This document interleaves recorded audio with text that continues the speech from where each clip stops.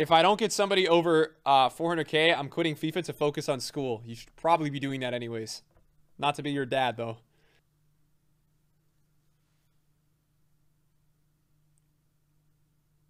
Wow. Another Cruyff chat. Wow. Not bad, Chad. Not bad. Chad, not bad. If I see another Cruyff for the next three, I'm probably going to do it. But I'm not going to do it from scratch.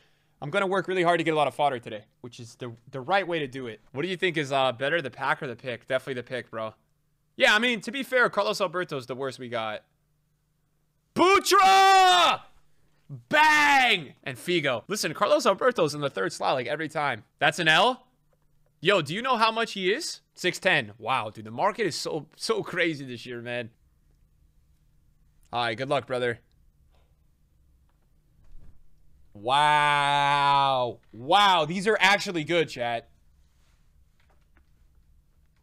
These are actually good. You know what I think EA did, bro? I think they made the weight higher. Like, just generally. I think they've made the weight higher because they know that, like, mid-icons are a little bit outdated. You can clearly see, based on the picks we've done today, that they've made the weight, weight a bit higher. For me, it's obvious.